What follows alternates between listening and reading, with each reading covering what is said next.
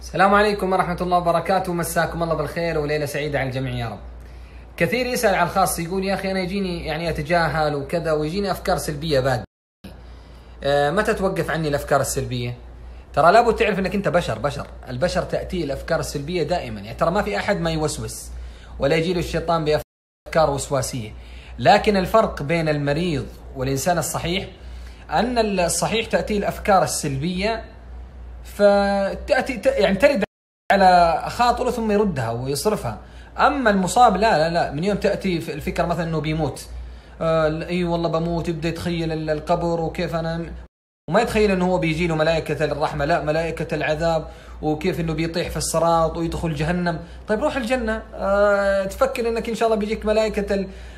ملائكة الرحمة ليش التفكير بالأفكار السلبية هذه هذه اللي ورا بعض؟ هذا هو اللي إحنا ما نبغاه وهذا التفكير المتعب والأفكار السلبية المتعبة التي نحذر منها. طيب السؤال الآخر يقول طيب كيف أعرف أنا عندي وسواس قهري ولا عندي أفكار سلبية عامة؟ علشان أعرف أنا مريض ولا لا. إذا كانت الأفكار السلبية تأتي على ذهنك وتستطيع أن تردها تتجاهلها قد تقلقك وتضغط عليك لكنك تستطيع تتجاهلها تعيش حياتك عادي ترى انت في ما, زلت في الجانب الطبيعي اللهم عندك كثافة أفكار وسواسية.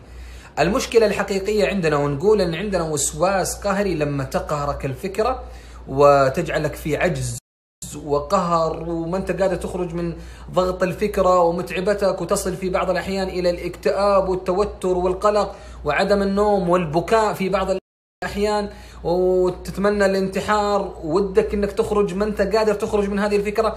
هذا هو الوسواس القهري. لأنه سمي وسواس قهري لأنه يقهرك. صار يقهرك على أفكار فيلزمك بأفعال. فصارت أفكار و... وأفعال قهرية. هذا الفرق بين. الأفكار العادية وال... طيب هذا سؤال جميل. يقول إذا جتني أفكار سلبية كثيرة وماني عارف أبدأ بإيش؟ على قول الشاعر تكاثرت ال... ال... الكلاب على خراش فما يدري خراش ما يصيد يعني. فجتني أفكار كذا كثيرة. على إيش أركز؟ أنا الحين مشتت ومضغوط. نقول له ركز على الف... إذا جت لك أفكار سلبية الأصل إنك تتجاهلها. هذا رقم واحد. إذا جتك أفكار سلبية كثيرة وقهرتك فكرة هي ال... هي الفكرة الأكبر فابدأ بها وحط عينك عليها. لأنك إذا قدرت تتجاهل الكبيرة تسهل عليك الأفكار الصغيرة. مثلا عندي أفكار إني أنا فاشل إني وإني وإني لكن عندي وسواس الموت هذا قاتلني. فركز على وسواس الموت وتجاهل وسواس الموت. فإذا تجاهلت وسواس الموت والأفكار السلبية نحو الموت ستتجاهل الأفكار الصغيرة مباشرة وتكون عليك سهلة. لأنك ضربت على قولهم في المكان الكبير وانكسر. فالأماكن الصغيرة سهل أن تنكسر. طيب سؤال جميل. تكاثرت علي الأفكار وما استطعت أتجاهل خلاص خارت قواي وما قدرت أكمل. إيش أسوي؟ أنا أسألك إيش تسوي؟ تروح تنسدح في الغرفة وتتعب وتقول بنتحر؟ لا لا لا لا. على طول أشغل نفسك. عليك بالجمعات.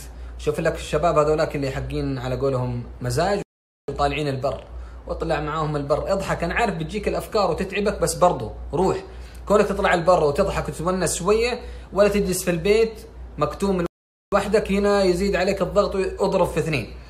ولهذا نقول اللي ما يستطيع يتجاهل نوصي أن يتشاغل. انشغل عن الفكرة ابتداء. حتى تهدأ نفسك ويصير عندك تركيز وترد الأفكار. اطلع تمشى شوف أصحابك وينهم اطلع معاهم العب كورة تمارس الرياضة. آه لا انشغل. إذا انشغلت حيخف عليك الضغط. نرجع للمرحلة اللي قبلها نشوف إيش الفكرة كبيرة ونتجاهلها. وتنكسر الأفكار اللي بعدها بإذن الله. طيب أستاذ علي كلامك جميل ورائع. طيب أنا أصلا أطلع مع الشباب وأنا أضحك مع الشباب يقول لي أنت أصلا تضحك قاعد تمثل. هذول مبسوطين أنت اللي قاعد تضحك على نفسك. فأضيق أضيق وأخرج من عند الشباب. هو هنا يبغاك. لا تسمع الكلام ولا تخرج. أضحك جامل سوي إنك تبتسم من جوا وتتقطع. ما في مشكلة. انشغالك هذا يجعل تركيزك على الأفكار ينتقل من من 100% إلى 60 50 70% في الأخير أنت قاعد تخفف على نفسك شوية. أضحك مجاملة أضحك وأنت ما تبغى تضحك. أه قاعد يقول لك افكار أفكارك أنت أصلا بيصير لك ويصير لك ويضيق عليك. يقول اللي يقول لا تغادر الجلسة ابدا. استمر كما أنت واضحك بالتمثيل مرة تمثيل ومرة من جد. وهكذا حتى تتشاغل عن الفكرة. ويصبح عندك شوية تركيز. هذا التركيز انت تحتاجه. بدون تركيز ما تقدر تتجاهل. فاستعن بالله عز وجل وابقى كما انت ولا يغلبك الوسواس ابدا. استمر.